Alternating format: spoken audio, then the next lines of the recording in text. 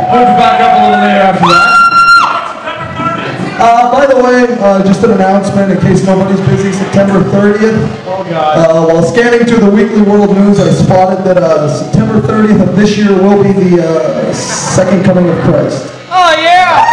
They only let our bass player out on the weekends, so he only has a weekend pass, so.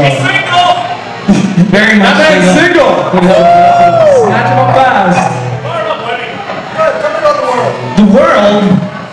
The world, is a vampire.